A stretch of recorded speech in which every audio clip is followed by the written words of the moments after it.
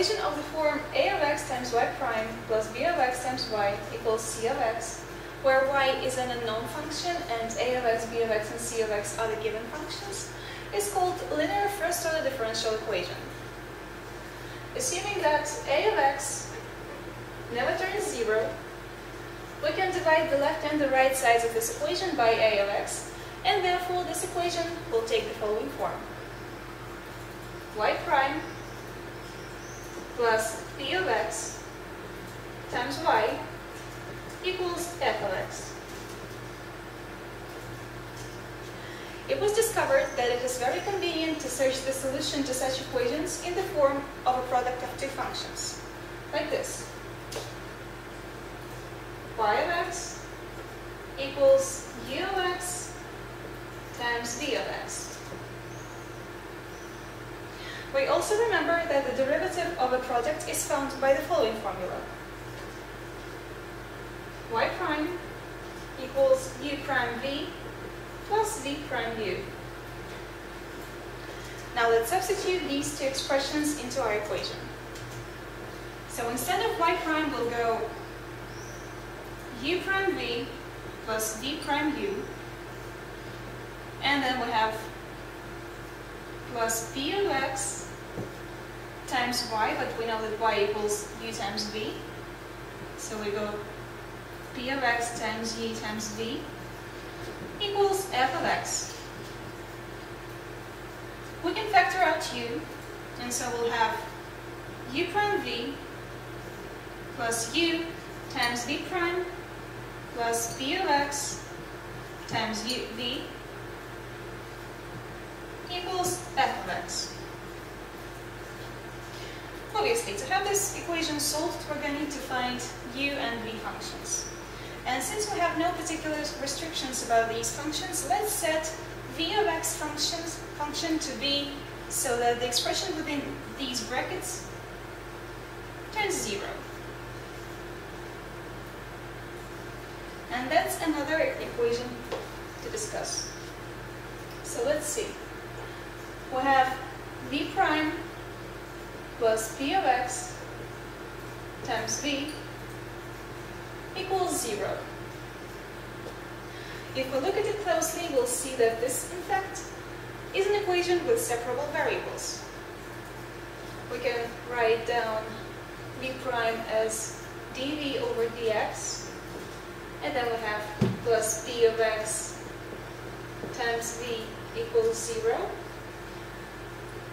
Dv over dx equals negative p of x times v.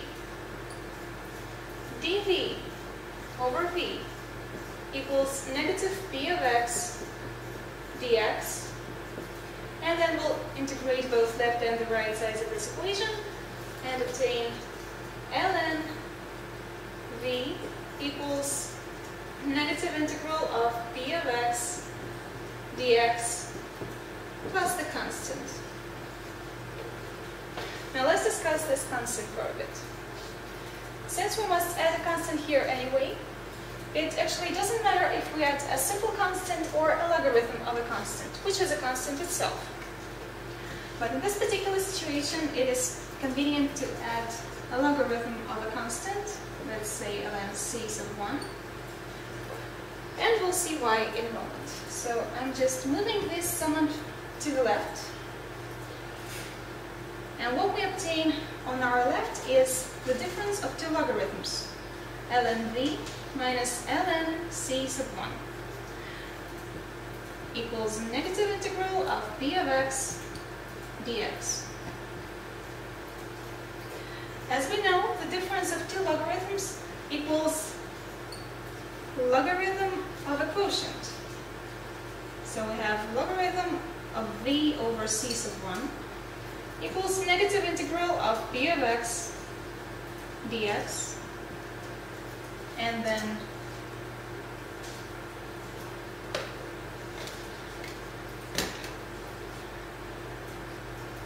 v over c sub 1 equals e to the power of negative integral, let me squeeze it here, e to the power of negative integral of p of x dx.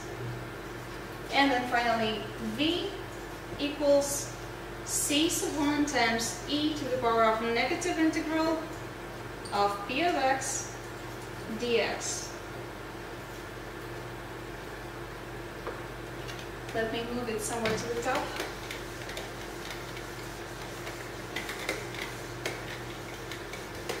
We lose it.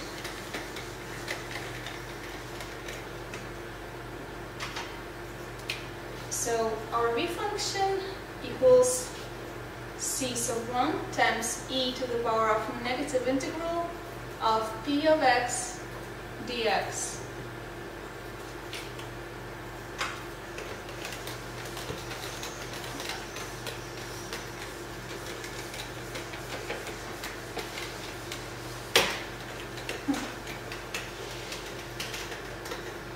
And now what we should do is to find u function.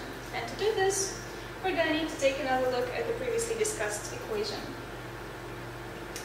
Now, since we've agreed that this expression in the brackets equals zero, this equation takes the following form. u prime v equals f of x. And we've already found the expression for the v function, so we can simply substitute it into this equation. So we have u prime or du over dx equals 1 over v times f of x. And now let's substitute the expression for v. So we have du over dx equals 1 over c sub 1 times e to the power of negative integral. And again, I have to squeeze it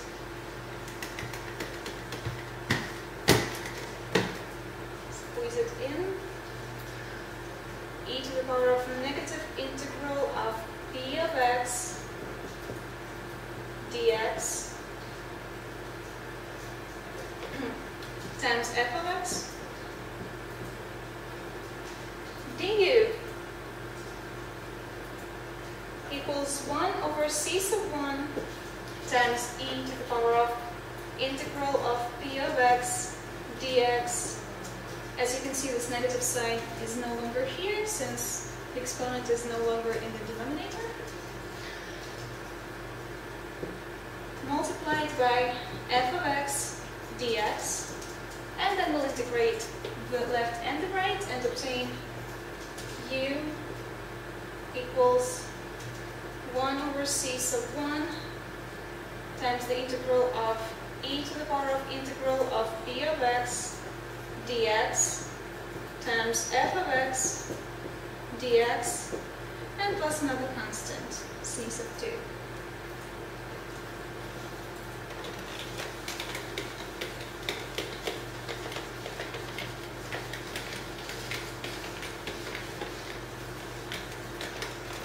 Write it one more time in the top. So we found the u function, which is equal to 1 over c sub 1 times the integral of e to the power of integral of p of x dx times f of x dx plus c sub 2.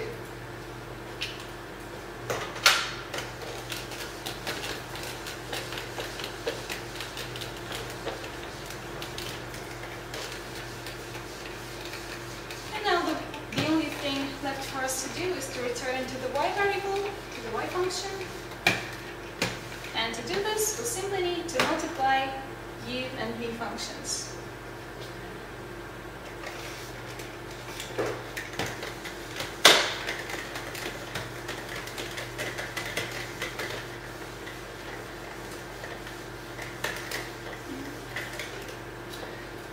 So, we have y equals u times v,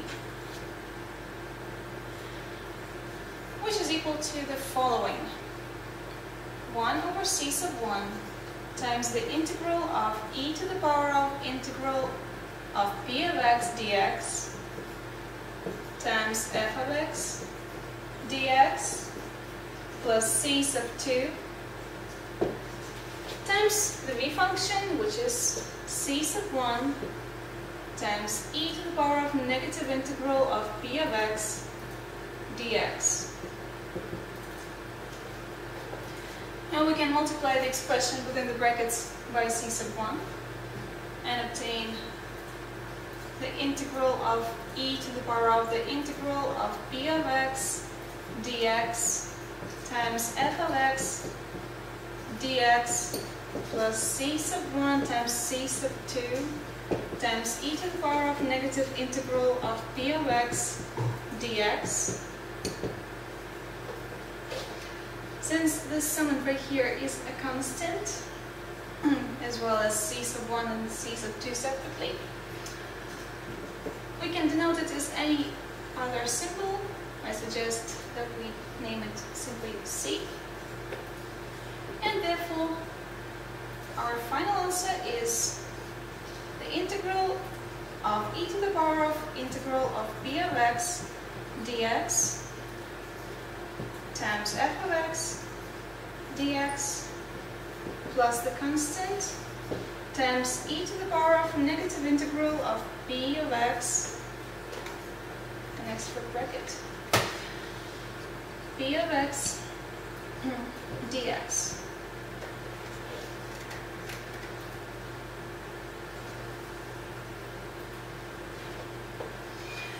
And this is how equations of such type are solved. And you can find the examples on solving the first order differential equations in this playlist.